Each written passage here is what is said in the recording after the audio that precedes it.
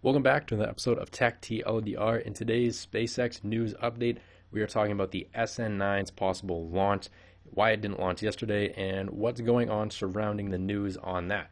So, earlier, Elon Musk had tweeted that they are hoping for FAA approval of test flight tomorrow afternoon.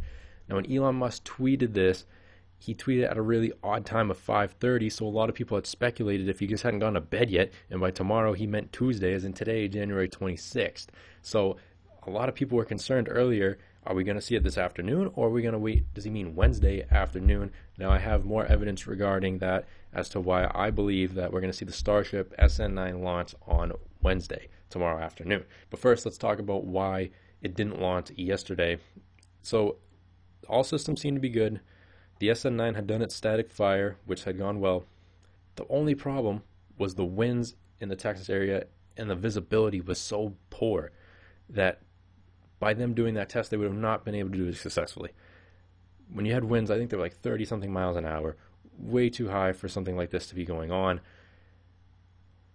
at least in a test scenario, when you have to have as many or as the least amount of outlying circumstances as possible. You don't want wind getting into this. If all systems are working properly, but the wind is what knocked it out, and the wind was what caused it to not be able to do a successful landing, that doesn't really help you much when you try to do the SN10 because you don't know if it was the wind or if it was a system problem. I don't blame them for postponing it, but again, I don't think it's going to be today. Locals in the area got another warning about a possible testing going on for today. However, there's no plan to evacuate. Now, when they do an actual launch, they evacuate residents because they don't want this thing launching, having a problem, and then having the Starship crash on somebody's house. That's the problem with doing these test flights in an area like this and being also a local to the area. You're going to always get these alerts. This is why, if you watched my previous episode, SpaceX recently bought an oil rig, two of them to hopefully turn into launch pads.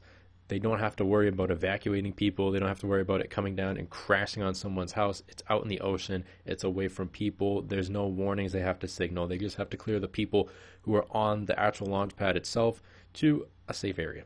Also, the TFR temporary flight restrictions from the FAA have now been posted for Wednesday, Thursday, and Friday. So if we don't see it tomorrow, Wednesday, we might see it Thursday or Friday. And is there one posted for today for the TFR? Well, the answer is no. There's no longer a TFR for Tuesday, anyways. So that kind of confirms, or it does confirm, that there is no SN9 launch going on today, guys. So if you were hoping for that, I'm sorry to be the bearer of bad news, but we're not going to see it today.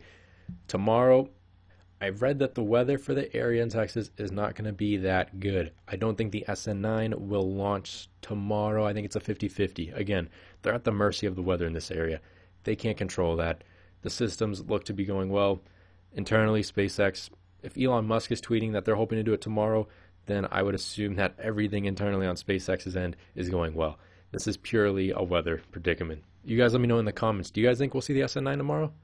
What do you guys think? Do you want to see it tomorrow? I mean, I know you want to see it tomorrow, but do you think tomorrow will be the day, or do you think we're going to be seeing it Thursday or Friday? Also, I'm curious what you guys think. After SN9, what's next?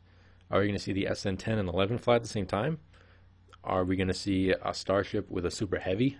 Like, that's what I personally want to see. Starship with a Super Heavy go into orbit and then come down and do a landing. That's what I'm excited for. Obviously, we have some time to go until we actually see that, but it's good to have hopes. It's good to have something to look forward to. And that's all I had to talk to you guys about on this episode. So be sure to click the like button if you want to help me out with the YouTube algorithm and just show that this is the type of content you want. And if you want more episodes like this, be sure to subscribe to the channel. I'm going to have more content like this every day regarding not only the SN9, but when the SN10 comes out, everything regarding SpaceX, Blue Origin, NASA, stuff like that. I'm also going to be doing EV episodes in the future. So if you want more content like that, be sure to subscribe to the channel.